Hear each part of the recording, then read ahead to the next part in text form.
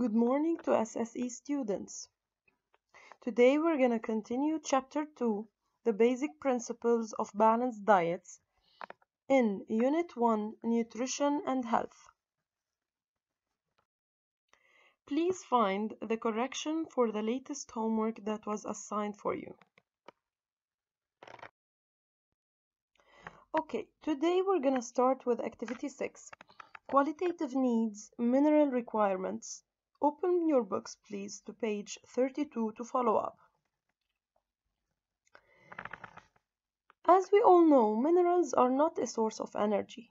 They are, though, a very necessary for the proper functioning of our body. Minerals are also found in water. Therefore, sources to find minerals in food and water. Let's start with water. Why is water essential to our bodies? 60 to 70% of our body is made up of water. Water is found in all tissues and is needed for many vital reactions in our bodies. Water also helps in regulating the body temperature and supplies the body with mineral salts. How can we lose water from our bodies?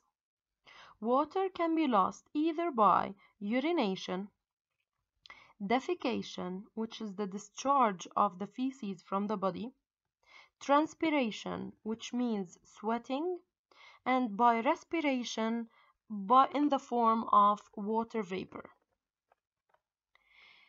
But keep in mind that the lost water must be substituted.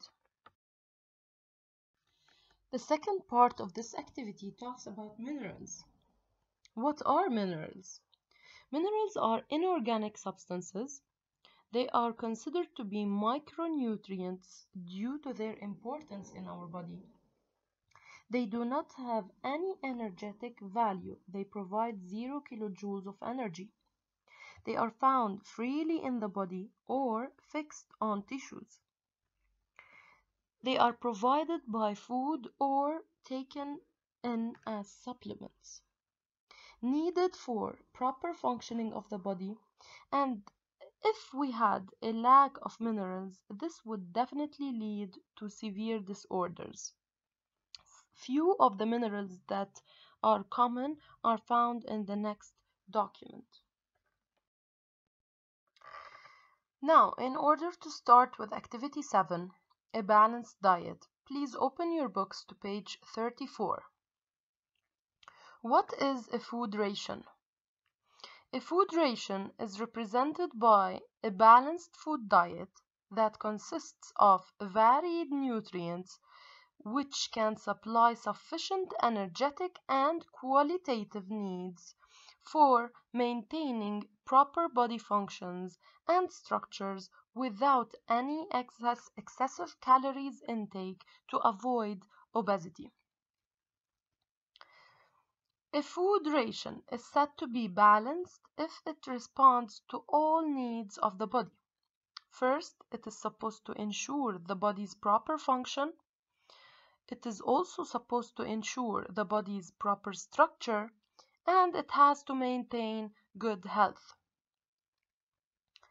To maintain a balanced food ration, one must obey the following CPL formula.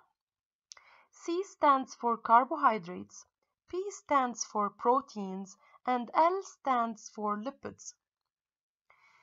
The CPL formula is supposed to abide by the, these specific ratios.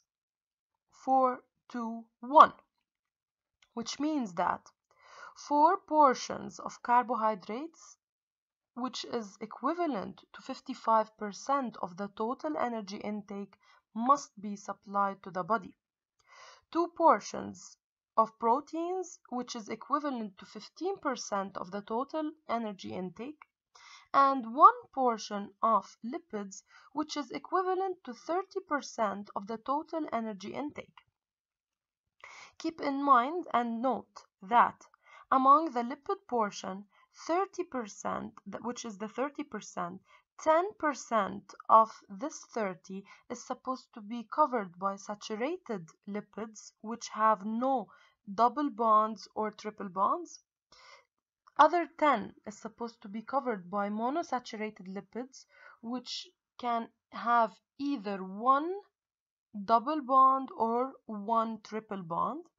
And the last 10% is supposed to be, to be covered by polyunsaturated lipids which means that lipids that can have many double or triple bonds.